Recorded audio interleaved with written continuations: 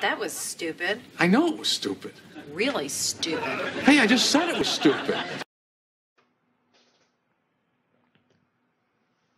And today's Daily Dose of Stupid brought to you by Canada. That's right, the entire nation of Canada. You fail as a country, and I'm going to tell you why. A woman was forced to close her business in Canada after refusing to wax a man's genitals. No, I'm not making this story up. This is a real thing. She runs a, a shop where they do waxings of some sort. I'm not going to pretend to know a whole lot about the subject matter here, but I do understand the legal hoopla going on afterwards. So, this is reporting from the Daily Wire. A Brazilian immigrant living in Canada was forced to close up her small business after refusing to wax the male genitals of a transgender LGBT activist, Jessica Yaniv, formerly known as Jonathan Yaniv. Citing discrimination based on gender identity, Yaniv filed a complaint with the British Columbia Human Rights Tribunal seeking financial restitution. The activist has filed complaints against 15 other uh, as aestheticians. I assume that's waxing people. Uh, as as the aestheticians with the tribunal claiming their gender identity discrimination as well. The Daily Wire reported last year. It was not until Wednesday, however, that Yaniv's identity was allowed to be disclosed. So, what I find really interesting about this is that apparently sexual discrimination is perfectly okay, but gender identity discrimination is not. Because based on the way that I'm reading it, based on the explanation here, the rationale for not waxing this man's boys was that she was saying, that's a dude. This is a woman shop specifically for women. And had she said that, and this was a heterosexual male, a cisgender heterosexual male that just walks in and says, uh, Yeah, I'd like to have my boys done, she would be allowed to say no, and then that would be the end of it. So they're allowing for sexual discrimination, which, by the way, I don't think I'm, I'm using that in the normal sense, not the legal sense. In other words, she is discriminating against giving that service to a man. So that's what's going on here. That would have been okay. But just because the man says, No, I am a woman, I just happen to have all the stuff, and he does still have all his stuff intact, that you have to wax me, or else I'm going to bring you before this tribunal. And the tribunal said, Yeah, that's that's gender identity discrimination. Actually, it's not. Because here's the thing. And granted, I don't know this woman personally. I don't know how she would have reacted to this. But if a woman came in dressed as a man, and this was somebody that considers themselves a, a trans guy, then would she still do the procedure on them? Because I contest that if she did, then she is not discriminating against trans people. She is discriminating against people whose sex happens to be male. Which, by the way, is okay in this situation. Like I've said, not all discrimination is bad. If you see two people come up to your doorstep at 2 a.m., one of them happens to be a Girl Scout, and the other one happens to be a guy wearing a hockey mask with a chainsaw, I would hope that you have enough common sense to discriminate against the guy with the chainsaw and let the Girl Scout, the scared Girl Scout, in. Like, that's a discrimination, but that doesn't mean that it's necessarily automatically bad. And so, this is one of those cases where sexual discrimination is appropriate, just like it would be if you're going to the bathroom or you're in a high school gym class. That is a part, that is one example of where sexual discrimination is acceptable because this is a woman that does that area of the body and doesn't want to do it for a man because she doesn't want to touch a strange man's stuff. And so, if she would do this for a woman that is a trans person, then she's not discriminating against trans people at all. She's merely saying, no, I won't do it if you're a guy. And so, this is what's so significant about the way that this is legally being phrased. They are saying whatever the person identifies as. That's what's important. Whatever the person says that they are, you have to treat it as though that's what they really are. You have to engage in this disillusion that a person is all of a sudden a woman just because he puts on a dress and heels. Which, by the way, I find incredibly offensive to women, suggesting that, oh, there's nothing more to being a woman than wearing a dress and high heels or wearing makeup. Because if you're saying that anybody that does that is a woman, you're saying, well, that's really all a woman is. Somebody that wears these particular things, which ironically is falling into a stereotype. It's a different stereotype, but it's a stereotype nonetheless. And so they're saying the female stereotype of what you wear, that's what's actually more important. The science doesn't matter, how you feel is what matters. Now, I can actually give a story here that I think is very relevant, but I'm hesitant to give it just because it's very personal and frankly a little embarrassing, but I think that the story merits it, so I'm going to get a little bit more personal and, and frankly a little more detailed than I want to. But here it goes. For those of you who aren't aware, I had testicular cancer. And that's obviously in a very sensitive area. And I had a number of medical professionals and, and doctors have to, you know, run tests and, and do operations and work on that area because that's where my cancer was. And I'm not going to go into much graphic detail, but sometimes they were women. And even though I was literally dying of cancer, if I had had any female medical professional say, no, don't really want to do that because of the nature of it, we'll get a guy or we'll get somebody else. Honestly, it wouldn't have bothered me. Not at all. Just wouldn't. And that's an actual emergency situation where my life was in jeopardy. And if they said, we're going to have to wait a few days to run this test because the person, the only person we have here that does that is a woman and she doesn't want to, you know, handle that part. And I would have said, okay, that's, that's fine. That's how much I believe in this. But this is a guy that is saying, no, I will use the blunt force of law to force women to fondle my junk. And the law will back me up on it. And the crazy thing is, they actually did. They said, unless you are all over this man's area, then you're out. How insane is that? This is a guy who has done this 15 times, as the article just pointed out.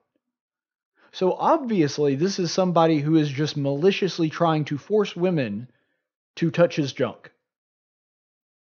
That's all this is about. I don't know if it's because he gets his jollies off that way or he's doing it just to make a political statement. But either way, he's doing this maliciously. He's obviously going around finding different places because I don't know about you, but when I get a haircutting place, I'm if I get a bad haircut, I go somewhere else, sure.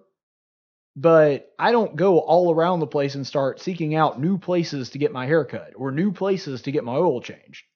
And the average person doesn't either.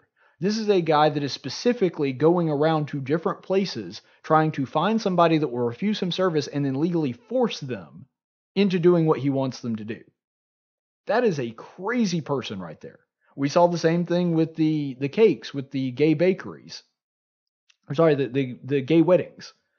That they were going around to several different bakeries waiting for someone to tell them they would not design a wedding cake and then all of a sudden decided we would do that. In the case of the Oregon couple, the bakery in Oregon where the they wouldn't make a wedding cake for the lesbian couple, that case took over three years, and the lesbian couple that was engaged still hadn't got married. It wasn't about the cake. They were specifically seeking out somebody that they could force to make them do what they wanted to as a political statement. And the same thing is going on here. I do not understand that. For example, if I walked into a restaurant and the person said, Get out of here, you're a Christian, I don't like Christians. Or if I was wearing a, a conservative shirt of some kind, get out of here, I don't like conservatives. You know, I don't like it, but I also don't want to give that person my business. I don't understand the mentality of somebody that wants to force somebody against their will to provide them some kind of good or service. I just don't get it. I might think that they're crazy for not doing that. I might think that it's strange that they wanted to turn down my business. I might even get upset about it. But I don't want to force them to do it if they don't want to. And so it's just so patently absurd to me that they do this. And by the way, this part of the story I legitimately thought was a hoax. And apparently I'm not the only one because Steven Crowder expressed essentially the exact same thing. And, and luckily he assembled these pictures on Twitter. So it actually saved me the trouble. So thanks, Steven Crowder. I appreciate it. If you haven't checked out his videos on YouTube, be sure to do that. He's really good, really funny.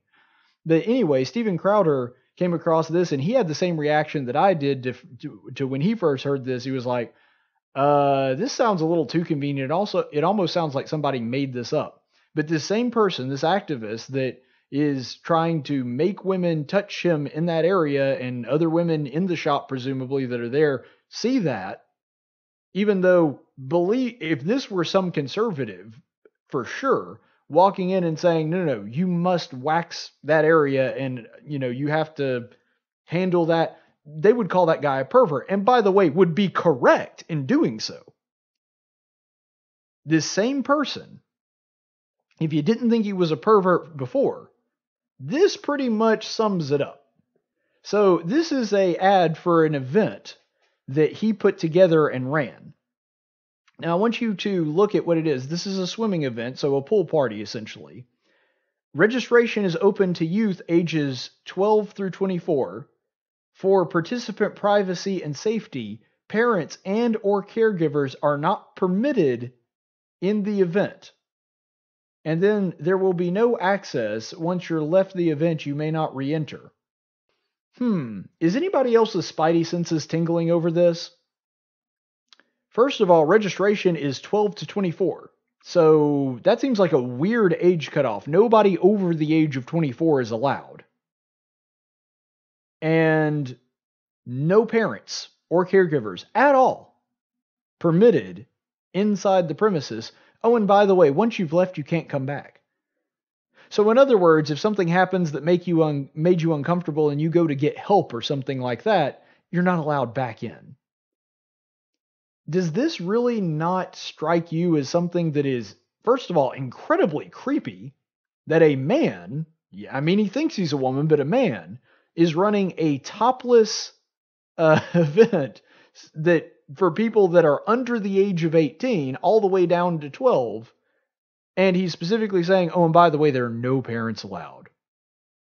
Yeah. Okay. Here's another tweet by the same person in reference to this.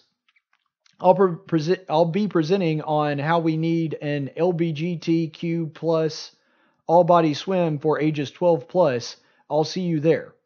Okay, and if that wasn't creepy enough, another tweet because I am requesting that we have an all body swim here with allowance for people ages 12 plus to go topless if they dish as allowed in law. So this is the same person, the same guy that's saying, yeah, let your 12 year old daughters come to my pool party and they can swim topless and no parents allowed.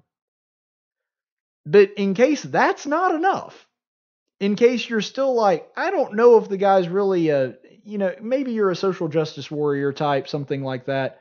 And maybe you're saying, well, yeah, but um, this guy, he's he's a trans woman, so he's only attracted to men anyway. It's not like he would be aroused or anything. Now, I think you're insanely gullible if you actually believe that. But just in case that was where you were, just in case you're a social justice warrior just watching the show to hear the other side, here's another tweet, and this one is pinned on the top of their profile. One proud lesbian, I'll never give up fighting for human rights equality. Hmm. So this dude considers himself a woman and a lesbian which would mean what? That he is attracted to women. I even if I to, to the social justice warrior watching this, if you had a daughter and you had no problem with homosexuality at all, you thought that it was perfectly fine and, and there's nothing in the world wrong with it, would you let your 12 year old daughter go to a lesbian's house at a pool party and let her walk around topless at the lesbians event? I would hope that you would have enough sense to say no. This is something somebody that is proclaiming, yes, I am attracted to women. And by the way, I'm going to use the force of law to force women to wax my area. You know, wax my organs down there, my genitals. And then is also saying, oh, yeah, and uh, all your 12 year old daughters, have them come over to my place and we'll have a topless pool party. This is one of the creepiest things I have ever heard of. And it does go to show that Canada has absolutely lost its mind ruling in favor of this person. This is a very sick, disturbed individual. And the fact that Canada's legal system is on his side and helping him get what he wants and making this poor innocent bystander close down her business because she didn't want to touch a strange man's area. Canada has absolutely lost its mind.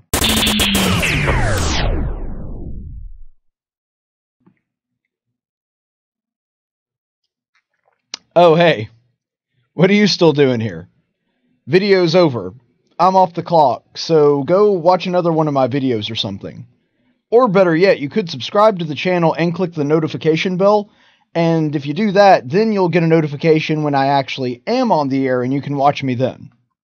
In the meantime, I'm going to take a nap.